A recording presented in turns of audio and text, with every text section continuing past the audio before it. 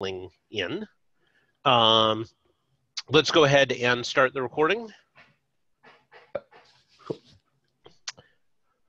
Okay, I wanted to thank everybody who's joining us today. Welcome to today's CNCF webinar, Delivering Cloud Native Application and Infrastructure Management.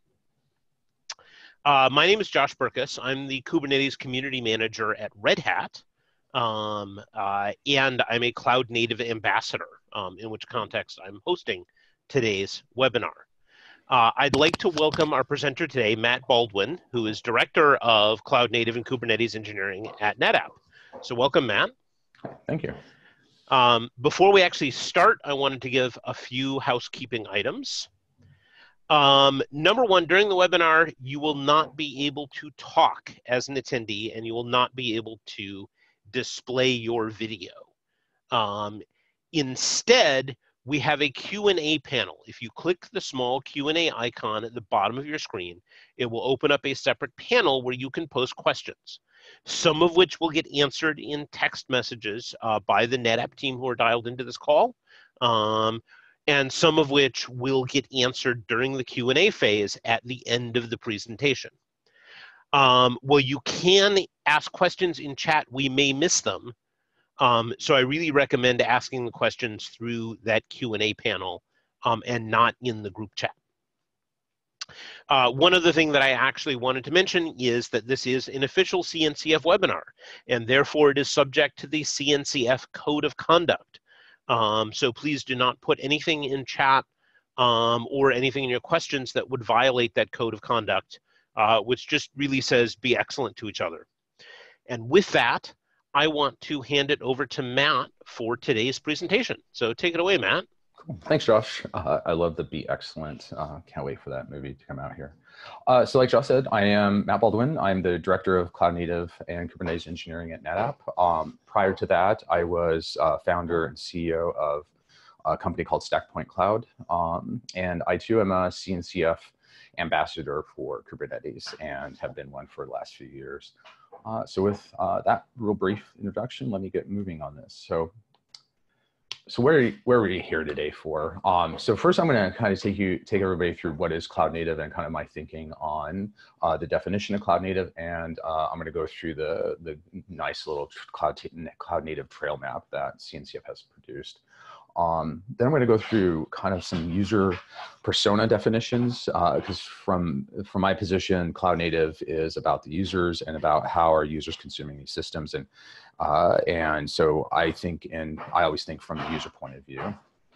Um, next, we'll move into cloud, what we're calling cloud native anywhere, which is a concept that you should be, you know, continuing the concept of portability with Kubernetes workload is that your cloud native environments and that, that workload on those environments should ultimately be able to run anywhere, regardless of on-premise or off-premise. And I'll show you some tooling of how that can work um, in the demo. Uh, after that, uh, I'll discuss a concept called cloud native app management of, so how do you uh, provide developers with what they need for uh, for the environments that they're shipping code into.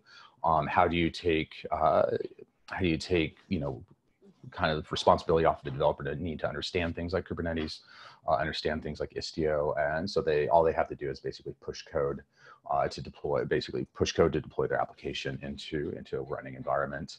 And so I'm going to talk through that uh, here towards the end of the presentation and provide a demo as well. At. So let me get going with the cloud native definition. So this is a, I'm just gonna put the, I'm just gonna let the slide linger uh, here. I'm not gonna read out the definition. I'm sure you guys can read it. Uh, this is a, the definition as published by the CNCF. And effectively what it tries to do is try to cap, tries to capture what do we mean when we say cloud native. And you know what we're what I want to zero in on is that last statement in the last sentence, which is, uh, you know, engineers need will be able to do things with high impact changes frequently, be able to do high impact changes frequently and predictably with minimal toil. So that last phrase, minimal toil, is an interesting one for me because if you read the definition, to get to cloud native requires a lot of toil. So it takes a lot of toil to get to minimal toil so that you know, going forward, you could begin to do quick changes uh, frequently that you're able to do predictably. But to get into that into that world uh, is going to take quite a bit of work. And uh, CNCF has published a the a cloud native trail map. And so what we're trying to do here is we're trying to call out here's the you know services solutions that you're going to need to look at, begin to adopt uh, on your journey to cloud native. And you know, just like uh, like a trail, you know, here in the Olympics, uh, here in Seattle, um, trails can be dangerous. Trails can be hard. Uh, trails could be very long, and but at the end, we're trying to get to a point where it's minimal toil for everybody. So we're saying, you know, you're going to need some type of containerization. Uh, you're going to need orchestration uh, for pretty much all of us. That is Kubernetes. Uh, you know, you're going to need to be able to package those those applications up in some type of definition. Helm for most of us uh, how do I observe all of this? How do I do CI/CD? Uh, you know, what about network? What about service meshes? So, you know, do I need to use Istio? Am I looking at Linkerd? Um, and then we move into things like distributed databases and then storage. And so these are all pieces that end users, uh, end operators are going to need to understand to assemble a cloud native uh, platform. And you know, the intent is that we should drive towards a world where uh, these things are easier and easier to compose together that we don't need to have deep knowledge on Kubernetes to be able to run Kubernetes, that we don't need to have any knowledge of Istio to be able to actually leverage uh, features like canaries or AB deployments or blue-green type of deployments, that all of this should be easily composable for me as a user, that uh, I don't need to learn a lot of new things effectively is where I would like to head in the space. Because um, everybody has to learn new things now. You know, there's like a ton of stuff on everybody's plate. And from, you know, with customer interactions that we're seeing, uh, there's a lot of mandates coming down from, you know, now that Kubernetes is kind of out there, uh, cloud native is now circulating more in the mainstream uh, C-level, C-suites are starting to catch wind of this technology, and we're hearing mandates are just being pushed down into teams. You know, things like get us over to cloud native in six months, uh, where that team has uh, zero knowledge of cloud native, and so you have six months to go from zero knowledge to being an expert in, in this this entire trail map. So what we're trying to do at NetApp is try to deliver tooling that makes it easier to get down this, this trail. Uh, and I'm going to show some of that here in a bit. So what are some of the pillars that we try to stand on uh, when it comes to cloud native? Uh, the first pillar is the workload ultimately should always be portable. Uh, it should be ready for multi-cloud. Uh, you should uh, be abstracted from your cloud provider. You should be abstracted from your infrastructure. Um, because the idea is that you should be able to take that workload and I should be able to have that live on premise I should be able to move that to, say, a public cloud provider. Um, my data should be able to come with me in that scenario. Uh, and these are some of these components are not things that are part of you know Kubernetes directly. Like Kubernetes doesn't account for moving data from point A to point B. You need extra tooling to be able to do that. Um, uh, things like cloud native application management is another pillar that we we look at, and that is a way of thinking about how do you uh, deliver and run and manage um, applications inside of Kubernetes, not necessarily a deployment, but how do you take a group of deployments and create an application taxonomy around those and say, these deployments together represent my application. And as a developer, uh, so say I'm in a persona of a developer, I want to be able to see service dashboards for that uh, application. I want to be able to see logs for the application. I need to be able to quickly scale it. I need to be able to quickly iterate on it, uh, and I don't really need, I don't really want to know a lot about Kubernetes to do so. Uh, so how do we arrive at that state? And so we're thinking around things like cloud native application management, and I'll dig into that a little deeper here in a bit. Um, another pillar that we're looking at with regards to cloud, uh, full cloud native stack is uh, security, and the belief is that security needs to be, you need to have security at rest. Uh, so there's great open source tooling out there to be able to accomplish that. Uh, Anchore uh, comes to mind, which is a, a container scanner, a registry scanner. Um, it could be used in place of Clair, if anyone out there knows what Clair is. Um, also, we believe in container security at runtime. Uh, open source tools that would help you address that would be things like Falco uh, from Sysdig, uh, would allow you to begin to address uh, runtime security and also, uh, you know, forensics around uh, events that occur in that container. Um, and so we think you know there needs to be a lot of the tooling out there all of it needs to be open source but there needs to be a way to tie all this together so that you have a consistent user and management experience around these tools uh, the problem that most of the users the space is having is what tools do i use and how do i assemble them all together so i have a cohesive what we would call a cloud native stack of solutions to work with? Um, you know how do i ensure that all my you know all my you know traffic inside my cluster is secure in flight? You know how do i do that with istio? Is that by default? You know how do i visualize that? Uh, you know there's a lot of that tooling that needs to be composed and put together for users and that's what we're uh, what we'll be showing you here um, storage is another big one uh, that's a cloud native pillar for us uh, for sure as netapp uh, is how do you think about storage and inside the context of a microservice running in Kubernetes? Um, how do you protect that storage? Uh, how do you move that, that data from uh, point A to point B? So how do you migrate to the public cloud if you're on premise or if you're in the public cloud and want to move back to on premise, how do you do that? How do you uh, replicate you know, production da data into test workloads so that you can actually test against uh, real data? And so these are a lot of the things that we're thinking about when it comes to uh, cloud native storage and how we're beginning to expose cloud native storage inside of Kubernetes. Um, as NetApp, we actually do sit inside the SIG storage uh, and participate in that SIG with uh, contributions for things like snapshots and uh, tying, you know, uh, some of our technology into into Kubernetes to be able to, um, you know, basically surface what we've invented over the last 20 plus years. Um, you know things like deduplication stuff like that.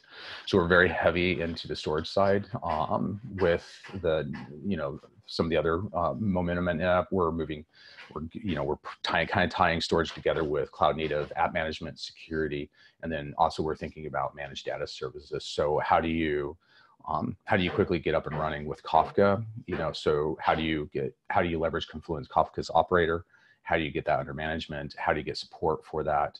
Uh, and then how do you just declare that you need that you, uh, in your environment? And that's some of the stuff that we've been working on as well. One of the last pillars that I think about is uh, personas. So when I approach the space, uh, I think about things like who are my who are my users and because you know i'm not thinking about the person who's going to pop the engine and disassemble the engine but the actual users of like the broad market uh, of users. And so we're thinking broadly around people like what we call an operator uh, what we would call classically a developer uh, then there's executive level. Uh, and so you know i'm starting to approach the space from a uh, you know how does an app developer think about kubernetes and how what tooling would they wish to use uh, and so my hope is that some of the demo that I show will, will map to, to those answers.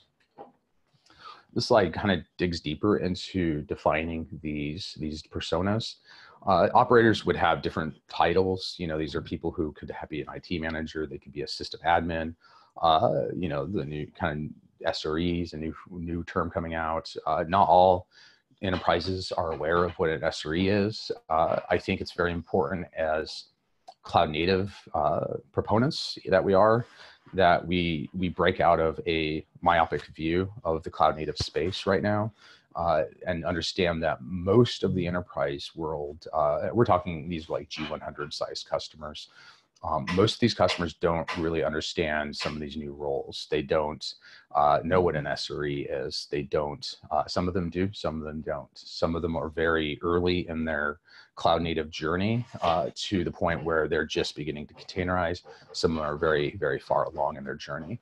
Um, but the intent of the operator role persona is you know people who are managing this cloud native infrastructure who have to maintain it on day two um, you know, who have to, you know, manage the resources that their developers are consuming. Then on the flip side, we do have the developers, and these are, you know, individual contributors uh, inside the company. They have different titles like software engineer, software developer, developer.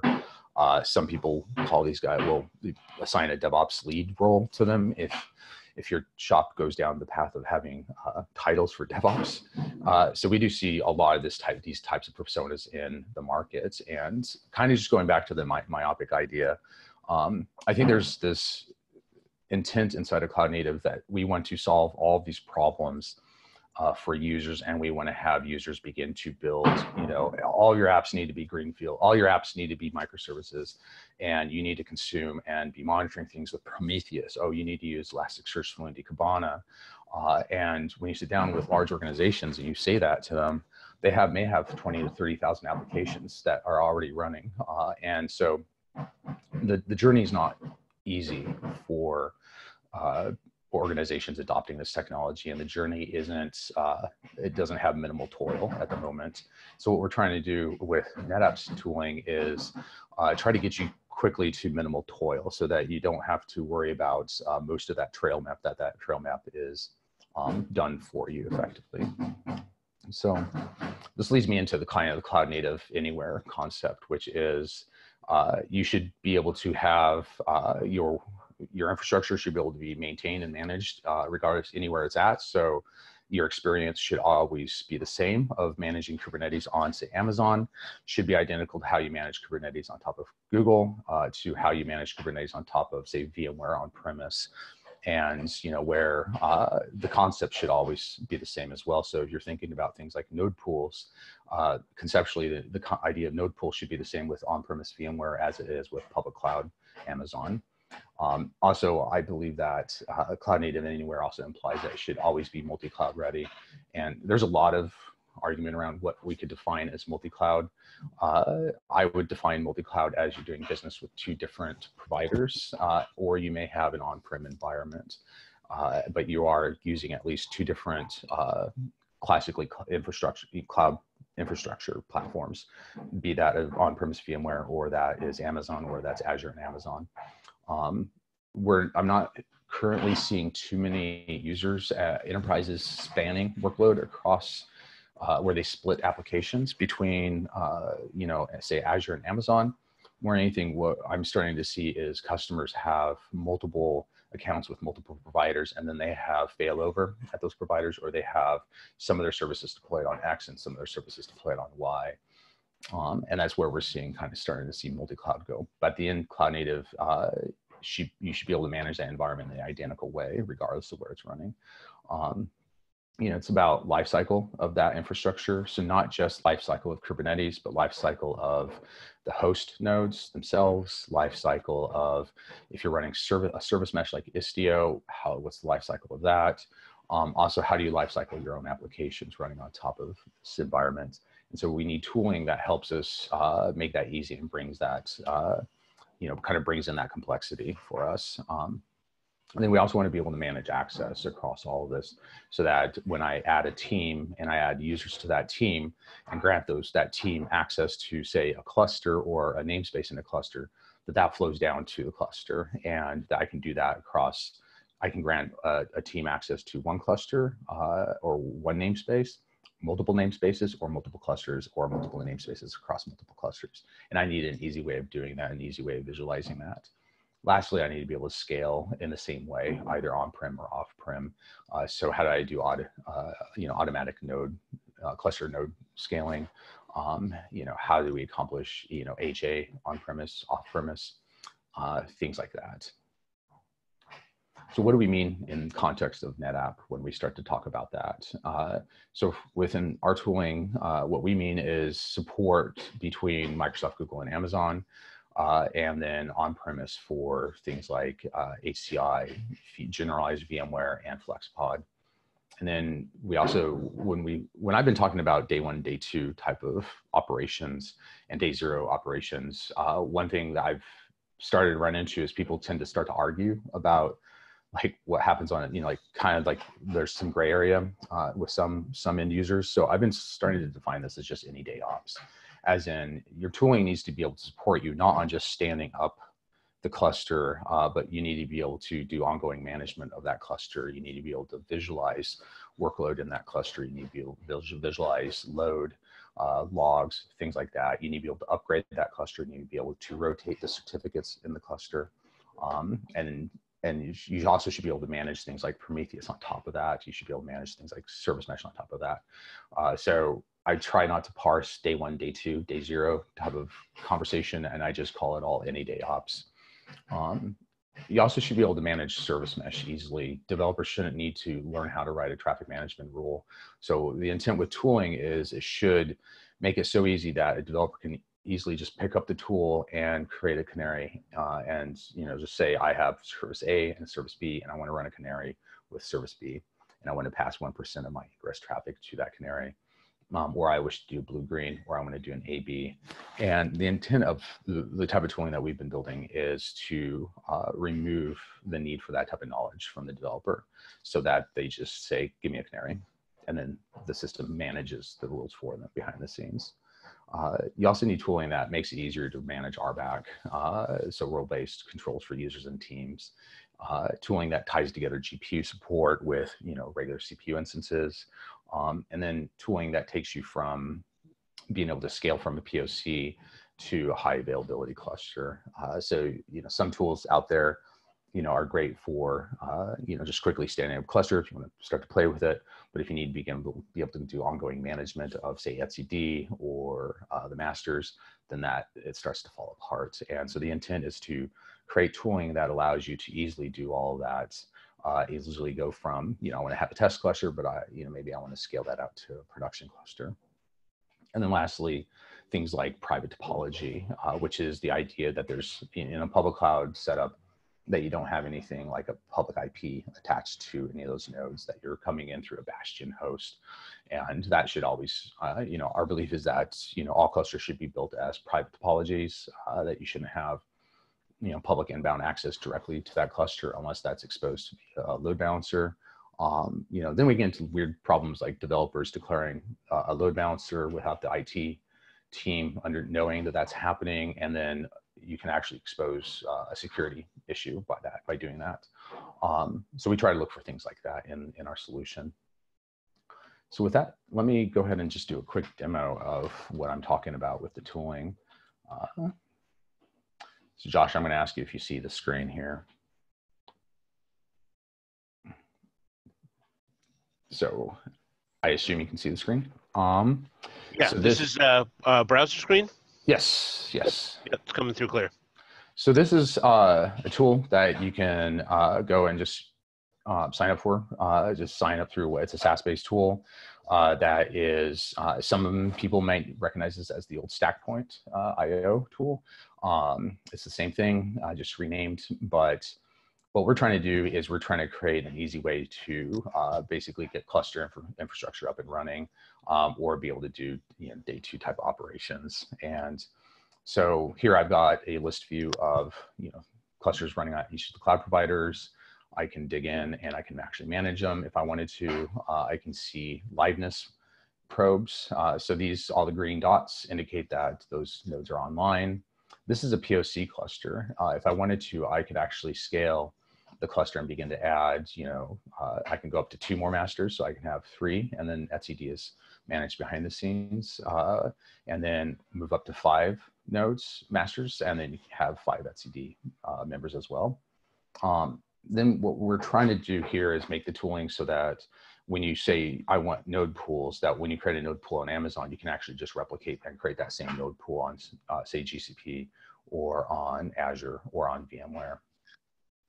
Uh, the idea is that you can also come in here and do quick upgrades uh, so that we're making, so you don't need to worry about CLEs or command line tools.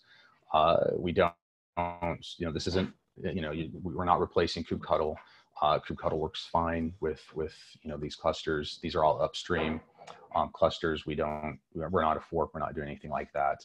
But an upgrade is just as simple as choosing, you know, I want to move up to 1.15.3 uh, with this cluster. And then it does, it basically performs an in-place upgrade. Um, we try to make it, you know, we try to do things where we're saying, hey, you can still use, you know, tooling that comes with the project. And so we want to be able to say, hey, you can use uh, the Kubernetes dashboard, but we don't want to expose that dashboard to the public internet. So what we do is we tunnel it through our, our tooling so that you can just, you know, get access to it. Um, but what we're trying to say is we're trying to say we don't really, you know, we try not to create a fork of these clusters so that you have a unique way of managing it if you're a NetApp customer. We don't want you just to be a NetApp customer. We want you to be a Kubernetes user. Uh, the end goal is that we want to make it easy for you to manage Kubernetes. Um, you know, you don't have to purchase storage or anything like that from NetApp to do this. Um, this is uh, the wizard uh, that makes it easy. You know, it's a three-step wizard allows you to create a cluster. Uh, we, you know, you just basically walk through the wizard, and at the end of it, uh, we ask you one more question of if you want to, you know, do you want to make any changes to this? If not, once you click submit, it begins to build uh, build a cluster on premise. The VMware experience that we have is also identical to uh, to our um, our pub the public cloud experience. So this is where we're trying to say we we believe in harmony of managing cloud infrastructure regardless of where that's running. And so the idea with the tooling also is to walk through three step process and you have a cluster running on your VMware environment. Uh, if you have a FlexPod environment, three step process, and now you have FlexPod, a cluster running on top of FlexPod environment. Um, you can also have an Amazon cluster running alongside that as well. Um, so that's the, the quick demo of the, the cluster infrastructure side of this. Um, and, but what about our developers? So that whole scenario was, you know, I'm a IT operator type of person. I need to create infrastructure. I need to manage infrastructure. Um, but now I'm a developer, and you know what if you know what I want to be able to do. So I want to be able to push code, and I want to be able to you know uh, I just want to do a git commit, and then now my my application's up and running inside of Kubernetes. So in this next so let me talk through what we mean when we start to talk about uh, cloud native app management. So what we think is it should be a Git-based app deployment model. Uh, so that, and it should be able to support, you should be able to use this tooling to run against both on-premise clusters and off-premise clusters, so public cloud clusters. Um, it should be all built on top of open source tooling. So we, uh, we implement uh, our own set of controllers and CRDs on top of uh, things like Tekton and Knative. Uh, it's just to let everybody know. And but like at no point do we want to build custom tooling, custom components that make all this possible. What we're trying to say is we're gluing it all together. We're composing that entire cloud native road uh, trail map for you, so that you don't actually have to think through that trail map. Let us do all that that tooling and manage it all for you. Uh, just to try to get you to minimal toil as quickly as possible. Um, so in our concept of app management, we have uh, an idea of projects, and a project is a maps to a tenanted namespace inside of a Kubernetes cluster. Um, we provide tooling that allows you to set resource quotas and limits on that project, so that uh, you know whatever users are deploying into that project um, are capped, and we allow you to tie teams of users to that project and then flow that team down to Kubernetes RBAC so that uh, that team could subsequently log in and pull down a kubecon, config file to attach that namespace. Um, you know, we also believe in this idea that you have a choose your own adventure with how you want to deploy workload into into the cluster. Um, you know, there's the standard kubectl, uh, kubectl, kubectl apply my YAML to my running environment. Cool, I have it all online or I'm using Helm to do a, a Helm install of a Helm chart into my environment, um, or I'm I want to be able to do a Git commit and uh, then see my application come up inside the environment, or I'm going to do a Git commit on a change and see that change come online in the environment. Um, I want to be able to lifecycle this application, so I should be able to upgrade this. You know, I should be able to see metrics attached to this application, so I should have service dashboards. I should be able to see logs. If I'm outputting logs to standard out, I should be able to see that.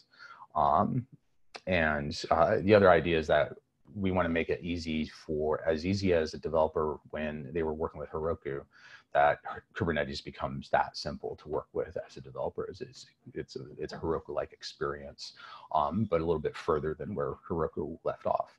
Um, you know, also we want to make sure that IT teams can manage the auto scaling for applications that are developers pushing into the environments without the developers having to worry about those uh, those management settings. So where are you going to see? So I'm going to show you uh, the concept of the projects, uh, the solutions that we place into those projects, uh, and the kind of the dashboards for things like metrics. And then I'm going to do a demo of uh, delivering it through Git.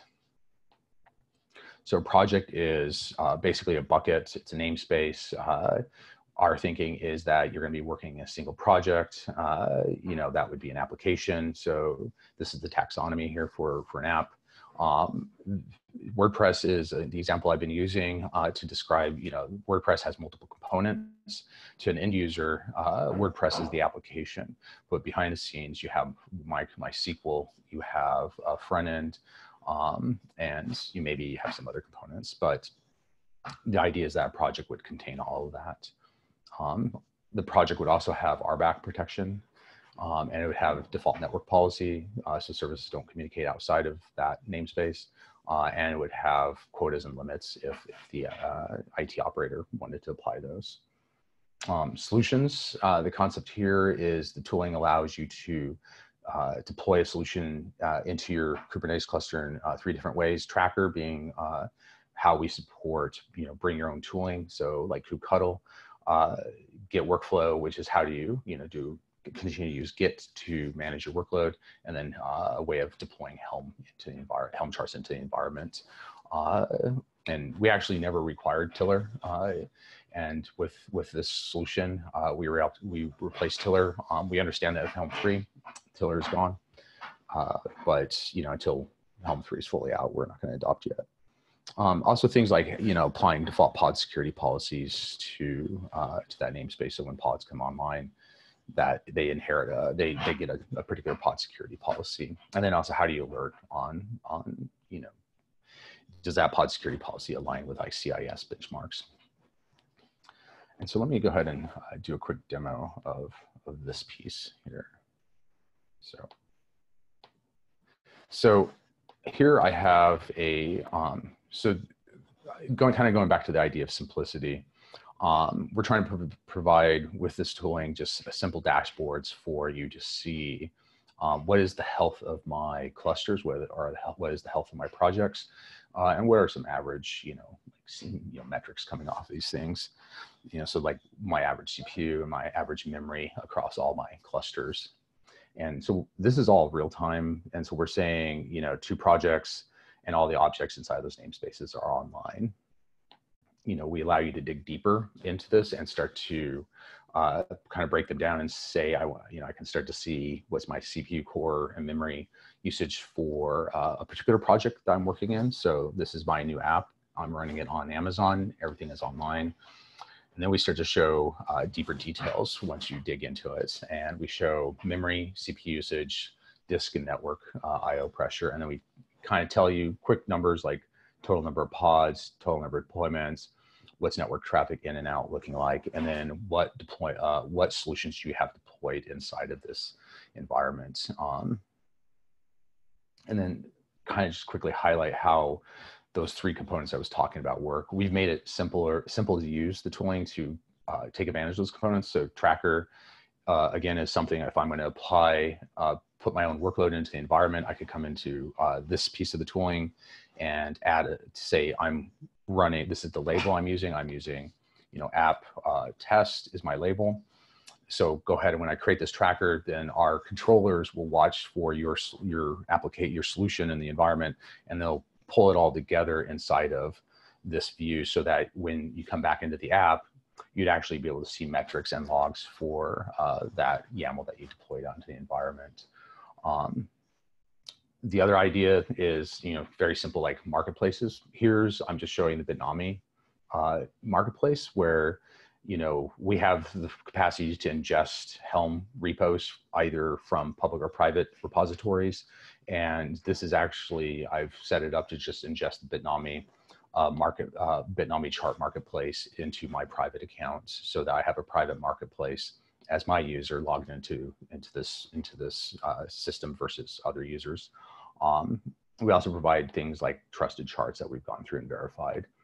And so this is one way, you know, you deploy these into the environment and it, you would also again see uh, kind of metrics dashboard and logging dashboards for that. I have Redis deployed right here.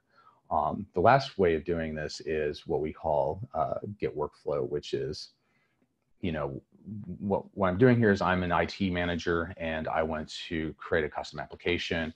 You know, my new team's app that they're working on uh, you know, I want to make sure that they're going to have a rolling update strategy for the application once they deploy it into the environment through Git. Uh, I want to make sure that there's always, you know, five replicas for them and they can max to 15.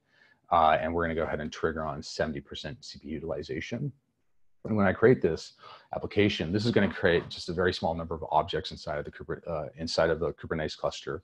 And then uh, what we have a controller that's going to watch for uh, when you do the first Git push. And then once that happens, we build a deployment around the container that, so we build a container off of that Git push, and then we wrap that container up as a deployment, and then we bring that, uh, put that under management inside of uh, by our controller, and then our controller effectively turns on things like horizontal pod auto scaling and, and takes the values that you've set here uh, for that.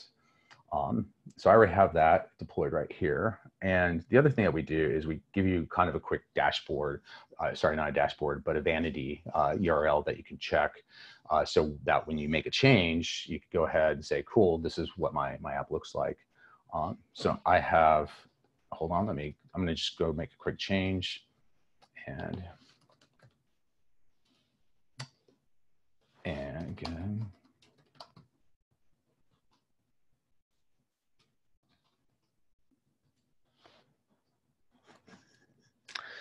And then what I'm doing here is I just made a change and now I am uh, effectively rebuilding that deployment, that container and uh, doing a rolling upgrade uh, out into the environment to uh, basically get that new change out there. And so um, over time, you'll see things like an error will show up as pods are coming online. Uh, and then eventually that is now up and running. So the developer was able to so I was able to make a change, push it real quick, and have it up and running in the environment.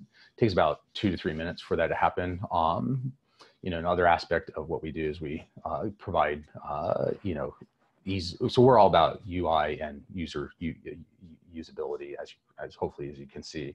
So we also have, uh, you know, I'm not going to jump into the demo of this, but we have usability around uh, the CNCF Harbor project as well. So everything that we use here is open source.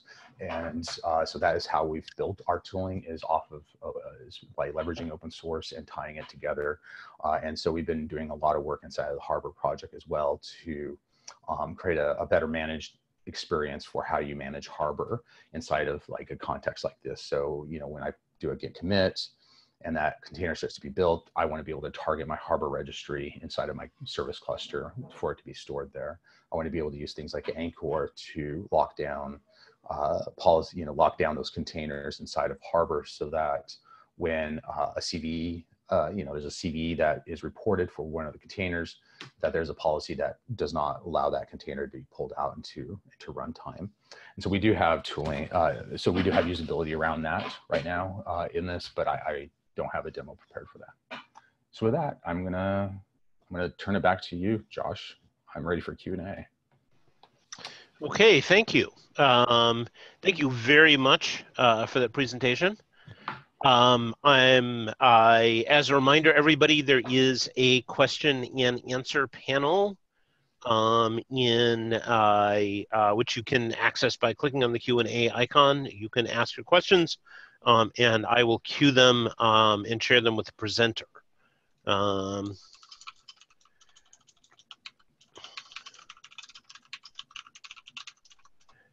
um, while waiting for those to queue up, um, I'll start with one of my own. Um, so, um, and I'm answering some of these uh, through the chat, I guess, right? So what, uh, I'll, I'll, I'll, do you want me to just read down the list? Uh, yeah, go ahead. Okay. So one of the questions was uh, about downgrades of Kubernetes clusters, and we don't. Uh, so we don't currently account for that. Um, you know, we've so our history with upgrades. So we've been supporting Kubernetes upgrades since 1.11, uh, and so for us, it's been difficult to uh, kind of support downgrade. Uh, now that we move moving into more of a standardized way of doing uh, cluster builds, kubeadm is, is what we would use behind the scenes. Um, we would look at being able to support that, but right now we don't. Yeah, and actually, one of the things I'll add to that is um, one of the things we have going on in the Kubernetes community is that currently nobody is maintaining the end-to-end test for downgrade. Um, so officially as the Kubernetes project, we don't have any official support for downgrading. And if that's a use case that matters to you, um, you might want to think about having some of your QE engineers contribute to the project so that it's something that we can actually test at the upstream level. Yeah, I think what the pattern that we're seeing is that um, customers, like a lot of the enterprise, larger customers, are starting to just run uh, one or two versions behind on Kubernetes, um, versus you know jumping into the new version each time it ships. Uh, and I think that's going to become a more of a persistent story that we're going to have most most enterprises going to run at uh, a version or two behind. Okay. Okay. Um, so there's a question from Howard Drew. Um, are multi-cloud builds a security concern? Um, is um, MFA, IAM, and uh, encryption enough? I would like to ask to clarify that question. What do you mean by, um, I, I, guess I, I want a little bit more clarity on that question. Yeah, okay. So Howard, if you can actually retype your question in the Q&A panel, we'll pick it up in a minute. Uh, in the meantime, let's go on to Dennis's question. Uh, no, that was Dennis with the downgrade. Uh, there's a second question, which is um, the UI tool and everything you just demonstrated. Is this open source? So some of our components are open source and some of it are just free to use. Uh, so you can just go and log in and trial the, the UI tooling itself. Um, and then we have other open source components as well that we have on our GitHub repo. Okay. Um, like all of uh, our uh, like if you're interested in some of the storage work that we're doing behind the scenes in that tool uh, that's an open source project that's called trident uh, and that's uh, basically how we're doing how solving storage inside of kubernetes. Okay. Um, the um, uh, another question from Bo Button what kind of support comes with this service? Presumably the commercial version yeah, with commercial version, uh, NetApp is selling. I, I guess we we're selling um, enterprise support with that, so it's bundled in with the the commercial version. So there's you don't have to basically with the commercial version you don't have to pay for support. You get the same level of support that NetApp's provided to its storage customers. So 24/7, 365. Uh, same uh, from a Kubernetes point of view, same level of support that you would get from Red Hat. Okay. Um, another question: uh, Can can we host this entire system ourselves? Uh, no, no. Okay.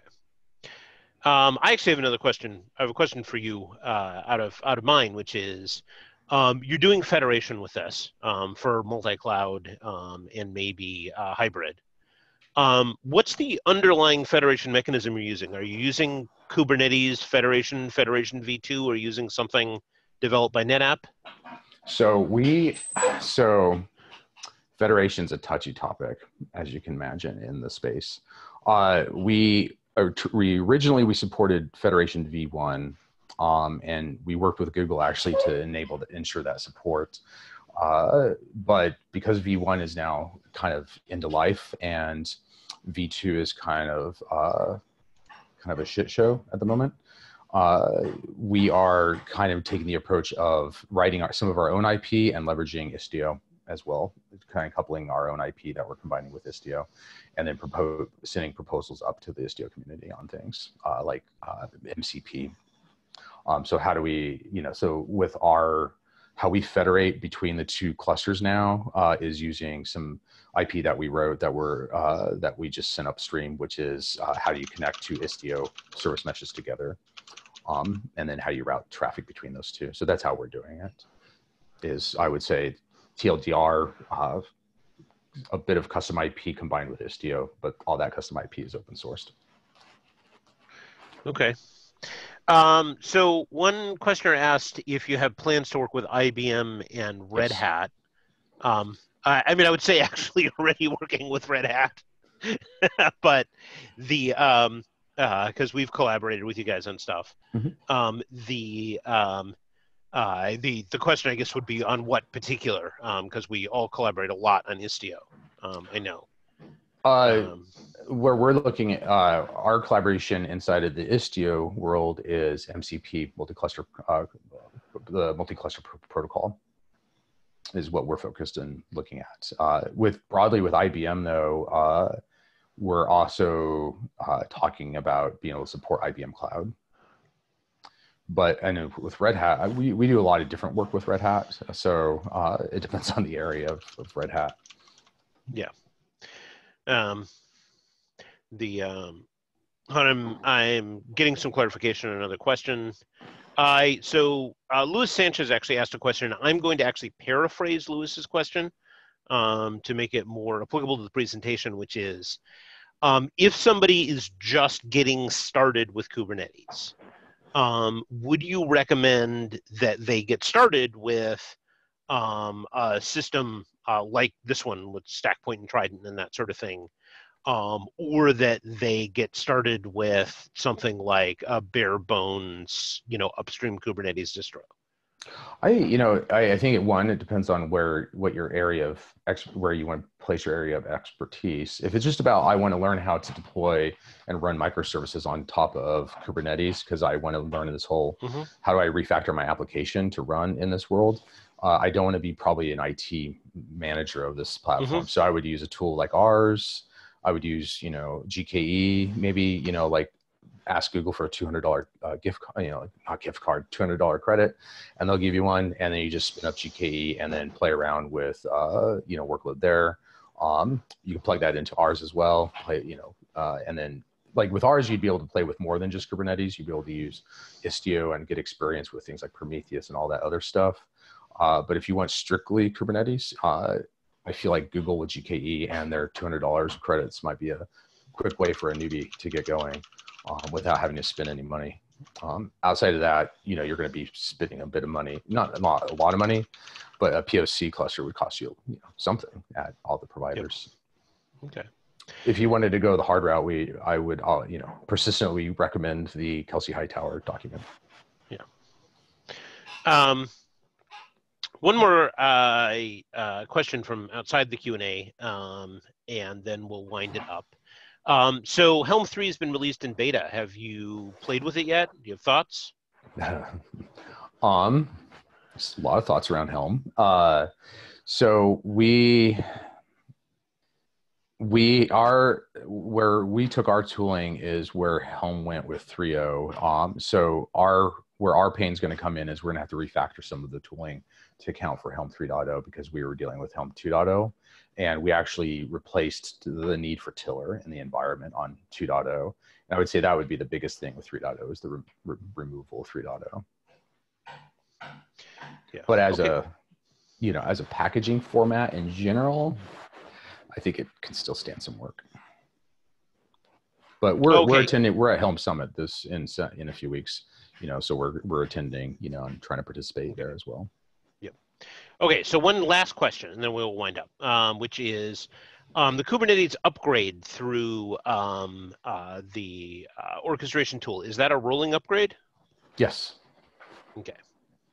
Um, and then I also see uh, roadmap support for clusters in other cloud by Oracle and IBM are on the way. Okay. Oh, wait.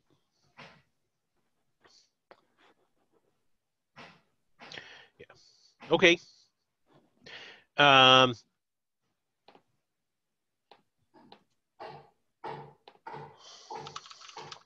and I apologize for the construction I had in the background. Okay. okay. Um, I think that's everything.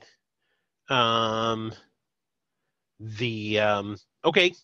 Well, thank you very much for a terrific presentation. Um, per the chat, um, the recording the webinar and the slides will be posted shortly in the CNCF um, events page um, on the webinars page. So if you can review any material, if you missed something as part of this presentation. And once again, thank you, Matt, for sharing and demonstrating that with us. You're welcome. Yeah. And if anyone, you know, feel free to DM me on Twitter if you have any questions. Cool. Thank you. Cool. Thanks, guys. Have a good day. Bye bye.